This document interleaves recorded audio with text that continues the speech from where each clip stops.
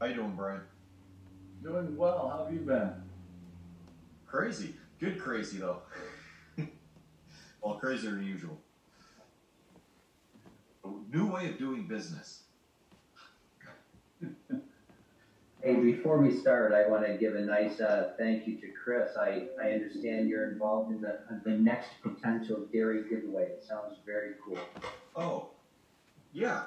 I know it's early stages, um, so it's not, it's too early to announce, uh, Mayor, but yeah, I was, I asked about labels and you mentioned your name right away and I said, oh, that made me smile. That's who I was gonna tell you to look to.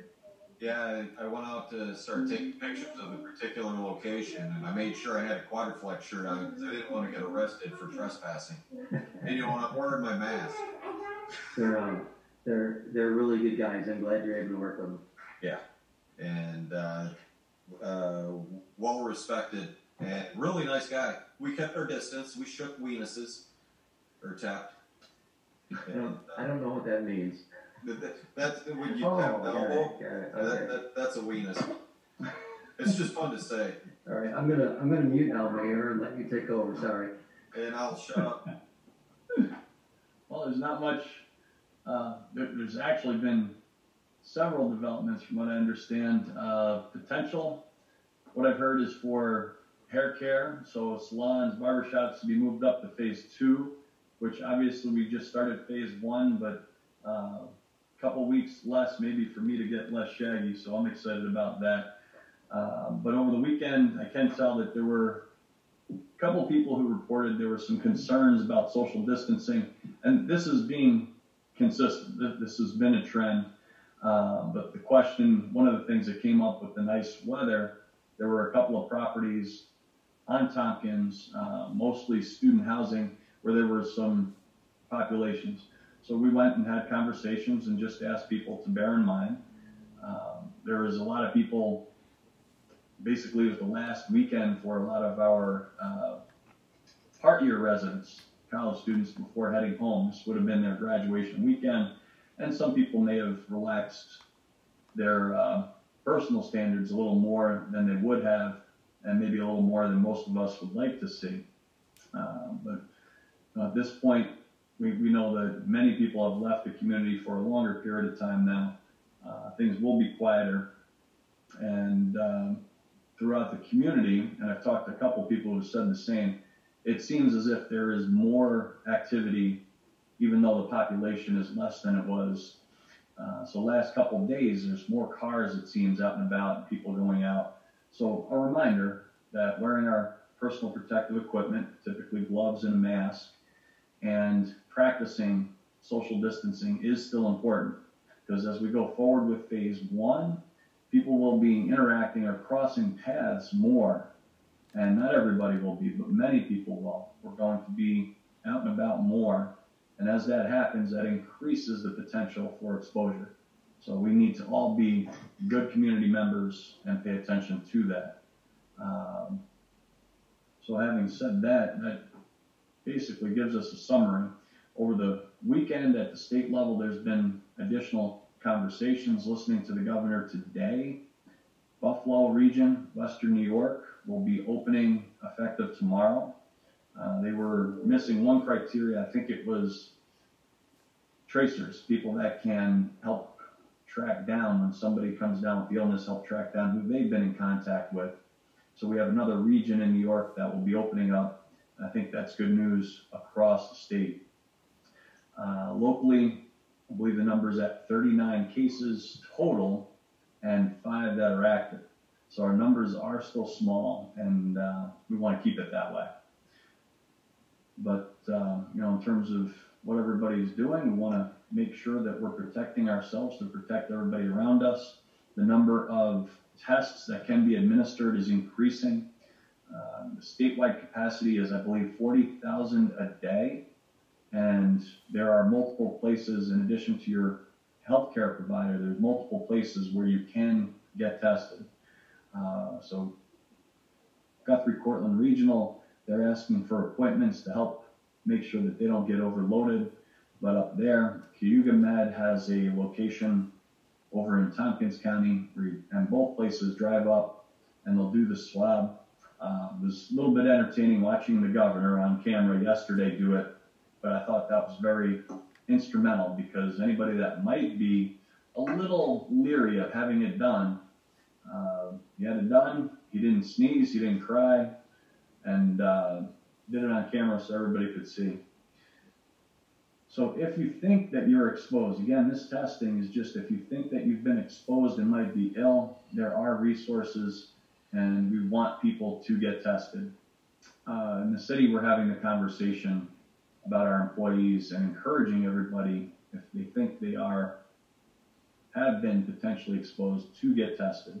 Because one of the metrics for us to continue to stay uh, open, the expectation is we're, we're testing and we're testing a lot of people. So anybody that thinks they may have been exposed, please make an appointment, get tested, and it helps us know where cases are and then track down and help protect other community members. So that's what I have from my desk today, and I'd like to open the floor. Bob, I understand that you've got a couple of things that you've been doing, and there's additional feedback regarding the business community. Would you like to talk a little bit about that? Yeah, you might hear some more singing still. Um, Just adds to the day. It's wonderful. If you don't mind. So this was a, a call with the business council just at 11 o'clock, and they clarified a, a couple of points.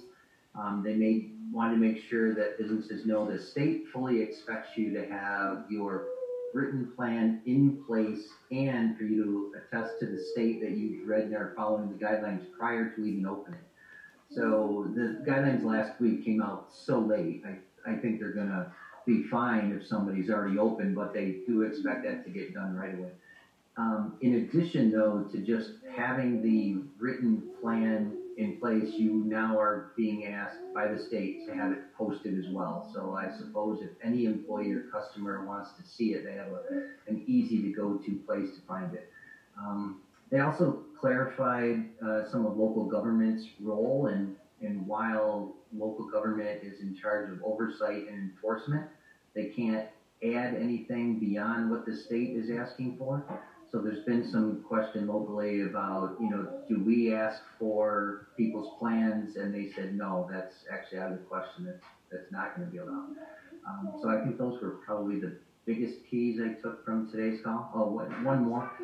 If you're an essential business who's been open all along, this whole new um, having a written plan and attesting to the state that you're following guidelines is new for you.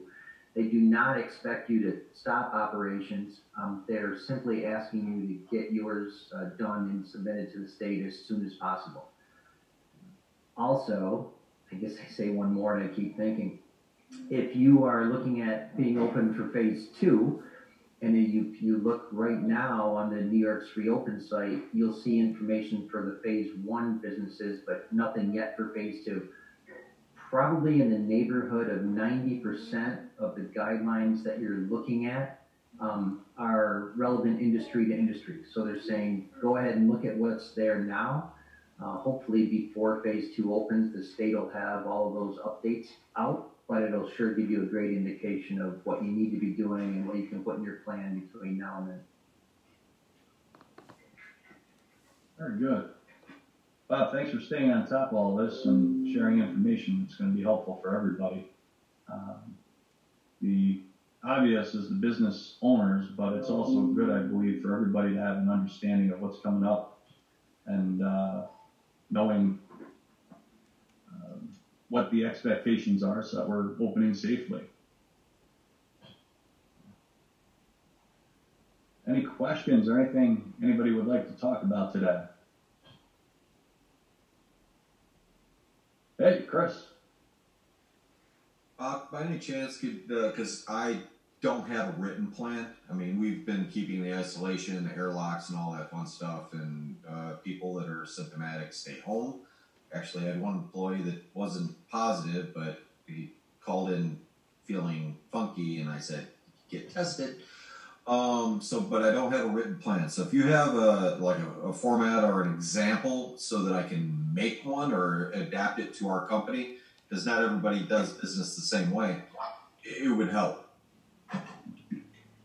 Um, yeah, Chris, what they have, if you still have the link, or I can send it to you again. From, oh, I've got it from the state. So if you Phase look one at, thing. Oh, yeah, so look at that manufacturing one Okay, because you can look at the plan they have and you can simply customize it for you and put your name on it and print it. okay, So it, yeah, it makes it pretty easy. and They've done a nice job. okay. Thank you. Very good.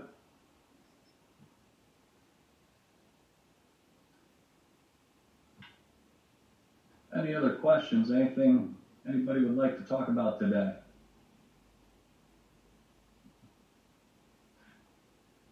All right, just to wrap up, talking a little bit more on a more personal note. So the weekend with good weather, we got a lot of stuff done at our house. We found that uh, redirecting energy, in particular with kids, has been very helpful.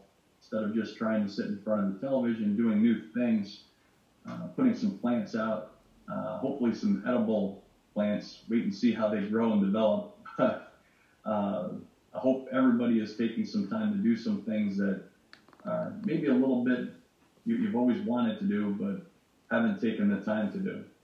And um, as we're seeing nicer weather, seeing more people out for walks, things of that nature, and um, not having a mask on while you're walking is acceptable. Just watch for other people, make sure you're maintaining six feet distance, and uh, being caring and concerned about your community members. So we're going to keep paying attention to what information is coming. There's been some changes uh, for all the way from last week to this week but it seems like the start of phase one went off essentially without a hitch. Uh, definitely appears that there's more activity, but as we continue to stay vigilant, we're going to do well. Thank you, everybody, for joining today.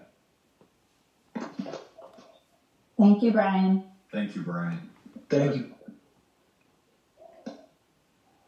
Everybody have, a good day. Have a great day, everybody.